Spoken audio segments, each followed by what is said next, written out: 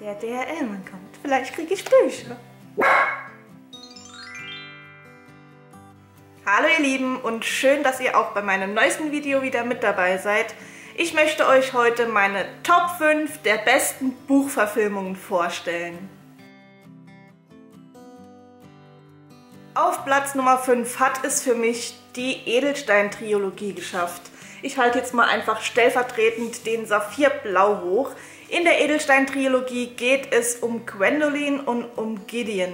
Die beiden sind Genträger. Gideon wird schon von Kindesbeinen auf daran trainiert, der Loge beizuwohnen und für die Loge zu arbeiten.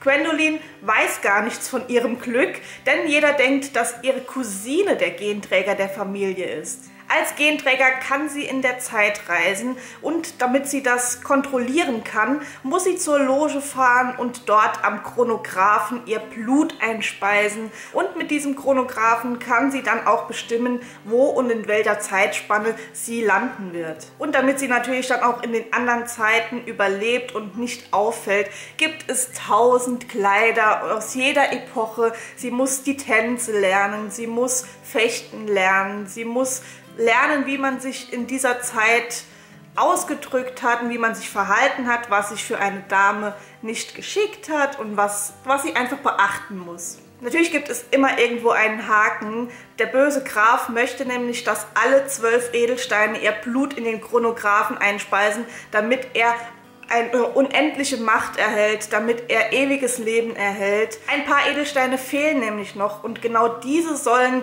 Gwendolyn und Gideon aufspüren. Wie das Ganze dann natürlich ausgeht, müsst ihr selber lesen oder einfach die Filme schauen. Platz Nummer 4 belegt dieser gar nicht mal so leichte Schuber. Die Tribute von Panem. Ich habe euch ja schon mal erzählt, welche besondere Empfindung ich bei dem Film habe, wie viele nette Menschen ich dadurch kennengelernt habe und was ich alles erlebt habe. Ich verlinke euch das Video gern nochmal oben, das war eins meiner ersten Videos. In Tribute von Panem geht es um die zwölf Distrikte, die jedes Jahr ein sogenanntes Hungerspiel veranstalten. Es wird dann aus jedem Distrikt ein Mann und eine Frau ausgewählt, die dann in den Hungerspielen sozusagen um Leben und Tod kämpfen, denn es kann am Ende nur einer überleben. In diesem Jahr ist Katniss kleine Schwester zum ersten Mal dabei und natürlich wird ihr Name ausgelost. Katniss meldet sich dann freiwillig, um ihren Platz einzunehmen und wenn das Kapitol wüsste, was sie sich da mit ihr eingebrockt haben, dann hätten sie es nicht zugelassen. Katniss ist nämlich so ein richtiger Fighter und sie möchte dem Kapitol eins zurückgeben. Sie lässt sich nichts gefallen. Sie ist so richtig tough und so eine richtige Powerfrau. Sie verbündet sich bei den Hungerspielen dann mit ein, zwei Leuten. Und das eine, das hat mir das Herz gebrochen, das war die kleine Rue. Die stirbt dann irgendwann leider Gottes doch.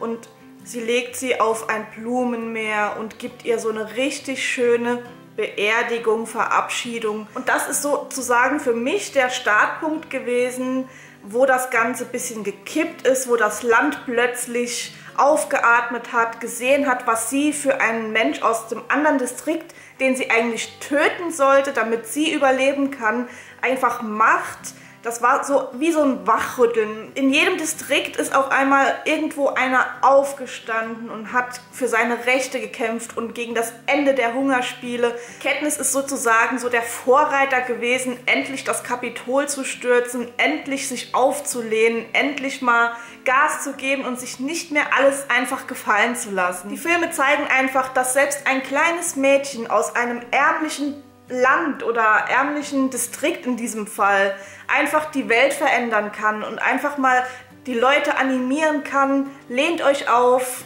lasst euch nicht alles gefallen. Wir sind Menschen, wir haben auch Gefühle, wir haben Bedürfnisse, wir haben Rechte und das hat Katniss definitiv geschafft. Für Platz Nummer 3 halte ich jetzt einfach mal stellvertretend den Hobbit hoch. Ich spreche nämlich von der Herr der Ringe Trilogie beziehungsweise auch von der Hobbit Trilogie. Was dieser Film für mich bedeutet, das kann ich gar nicht in Worte fassen. Tolkien hat so eine grandiose Welt erschaffen, die wirklich so kaum vergleichbar irgendwo in Büchern oder Filmen zu finden ist. Die Charaktere sind einfach so markant und wachsen einem so ins Herz, auch wenn ich persönlich ich immer sage, Sam ist der wahre Held der Geschichte, weil Frodo einfach ein weinerliches Kleinkind ist, der immer nur am Rummosern und am Rumpinzen und am Rumnerven ist. Aber das ist nur meine Meinung. Offiziell ist Frodo natürlich der Held der Geschichte oder beim Hobbit eben Bilbo, wobei mir Bilbo echt auch besser gefällt als Frodo. Das ist auch wieder so ein Buch, das zeigt, dass selbst die kleinste Person, wie die Hobbits nun mal sind, einfach die Welt verändern kann, die Welt retten kann, die Welt zu einem besseren Ort machen kann. Außerdem ist die Filmmusik von Herr der Ringe einfach unangefochten bei mir auf Nummer 1. Die Musik ist so genial. Ich habe mir auch bei Spotify diverse Playlisten aufgestellt zum Autofahren, zum Hausarbeit machen und so weiter. Und auf jeder Playlist ist irgendwo mindestens ein Lied von Herr der Ringe drauf. Das Einzige, was mich so ein bisschen an den Büchern gestört hat, war halt diese seitenlange Landschaftsbeschreibung. Ich denke, das hätte man auch in weniger Worten hingekriegt, aber im Film wurde das auch so genial umgesetzt. Das Auenland als ich zum ersten Mal die Filme gesehen habe, ich wollte unbedingt wissen, wo dieses Auenland ist und habe gesagt, irgendwann in meinem Leben fahre ich dorthin, wo das gedreht wurde und schaue mir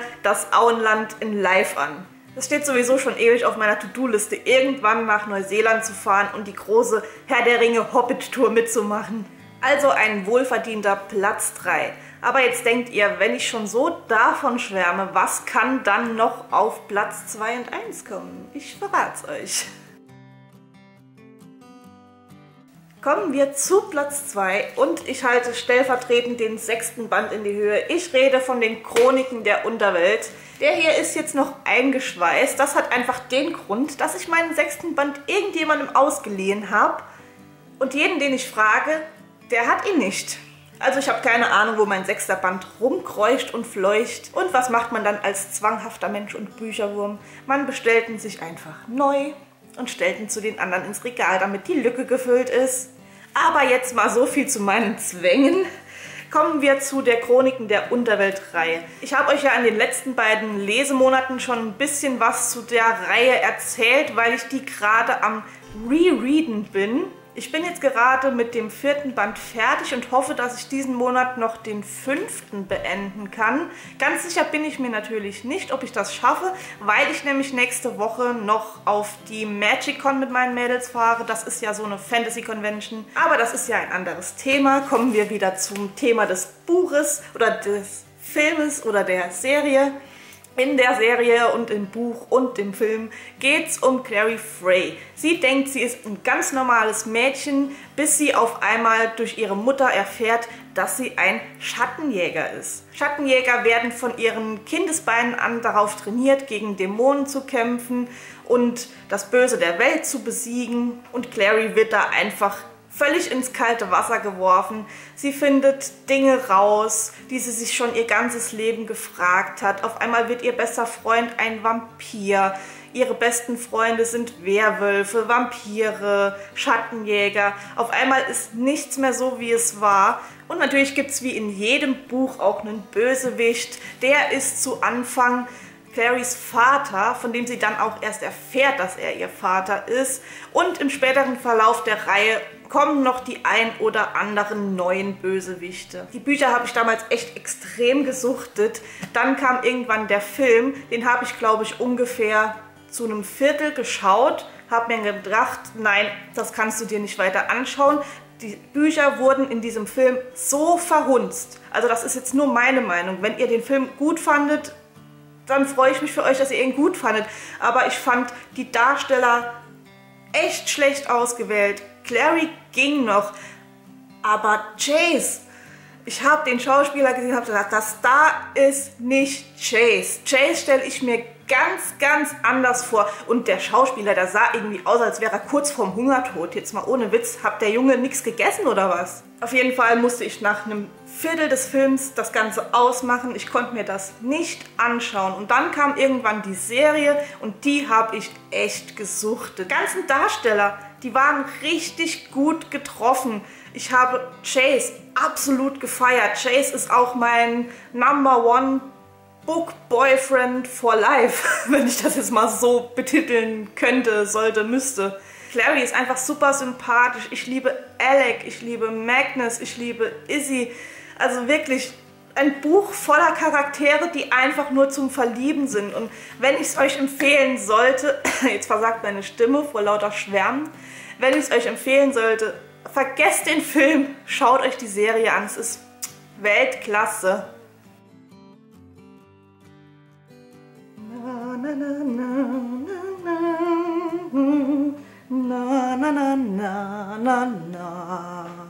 Wer mich kennt, weiß, dass ich mit den Büchern quasi verheiratet bin. Ich halte euch jetzt einfach mal meine absolute Favorite Sonderausgabe von der Hufflepuff Edition des Philosopher's Stone in die Kamera. Einfach nur, weil ich sie liebe. Vor allem wegen diesem wunder, wunder, wunder, wunderschönen Buchschnitt.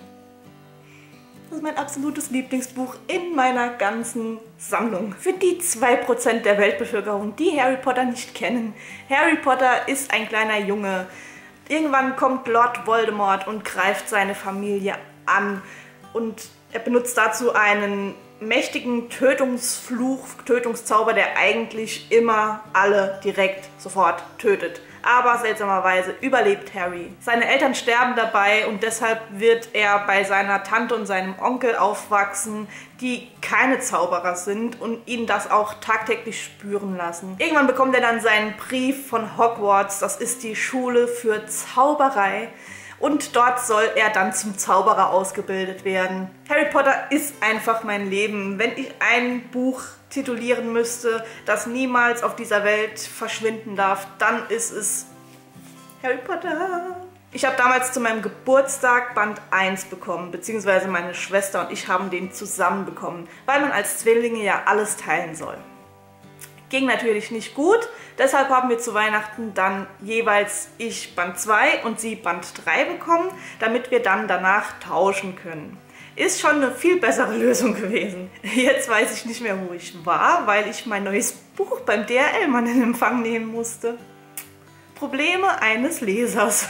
Was definitiv zu erwähnen ist, es ist grandios, was J.K. Rowling für eine Geschichte erfunden hat, mit so viel Hintergründen, mit so viel Dingen, die einfach irgendwo zusammengehören. Da taucht im sechsten Band etwas auf, was man im ersten Band gesehen hat. Und da denkt man sich, da hat die ernsthaft schon beim Schreiben genau gewusst, dass ich das in Band 1 jetzt schreiben muss, um es dann später in Band 6 wieder aufzugreifen. Also da geht die Geschichte so völlig ineinander und am Schluss hast du wirklich das Gefühl, das ist komplett durchdacht. Was natürlich auch noch zu erwähnen ist, genau wie bei Herr der Ringe, ist die grandiose Filmmusik. Also wenn ich nur diese Hogwarts-Melodie höre, da kriege ich sowas von Gänsehaut. Das ist einfach genial. Diese Woche habe ich auch den Filmtrailer zu Fantastic Beasts 2 gesehen. Der ist noch keine fünf Sekunden gelaufen. Da war mein ganzer Körper voller Gänsehaut, einfach nur durch diese Melodien. Natürlich wurden ein paar Szenen aus den Büchern gestrichen, aber das hat dem Ganzen gar keinen Abbruch getan. Die Geschichte wurde in den Filmen so gut wiedergegeben und die verschiedenen Charaktere, die sind einfach nur zum Verlieben. Mein absoluter Favorite ist wie ihr wisst, Luna. Ich liebe Luna abgöttisch und auch die Besetzung, die hat die Rolle so gut verkörpert und sie ist einfach so süß. Ich liebe sie einfach. Ich könnte mir Harry Potter ohne Luna gar nicht vorstellen. Oder dann Ron, der immer verpeilt und verfressen ist, der geht direkt ins Herz. Hermine, obwohl sie so ein Streber ist und so ein Klugscheißer, sie ist einfach grandios und ich liebe Hermine und Harry und Hagrid und Dumbledore und Dobby. Ich liebe Dobby, ich liebe Dobby. Also die Charaktere sind einfach Weltklasse und ich wüsste wirklich nicht, was ich in meinem Leben gemacht hätte, wenn es Harry Potter nicht gäbe. So ihr Lieben, das war meine Top 5 der besten Buchverfilmungen aller Zeiten. Natürlich gibt es auch super schöne Einzelbände, von denen die Filme auch einfach so grandios waren. Aber ich habe gedacht, ich mache jetzt einfach mal nur ein reines Reihenvideo. Gerade weil ich in den letzten Monaten auch sehr, sehr viele Reihenbücher gelesen habe. Wie ihr im letzten äh, Lesemonat gesehen habt, im Februar habe ich ja wirklich komplett nur Bücher Aus Reihen gelesen. Wenn ihr möchtet, kann ich euch natürlich auch noch ein Video abdrehen meiner Top 5 Buchverfilmungen aus Einzelbänden. Wenn ihr das wollt, dann schreibt es mir gerne in die Kommentare. In diesem Sinne verabschiede ich mich von euch. Ich bin Julia. Ihr findet mich natürlich auch auf Instagram und Facebook und Co. Da dürft ihr auch gerne mal vorbeischauen. Ansonsten wünsche ich euch noch einen wunderschönen Restsonntag. Macht's gut und ich hoffe, ihr schaltet auch beim nächsten Mal wieder ein. Tschüss!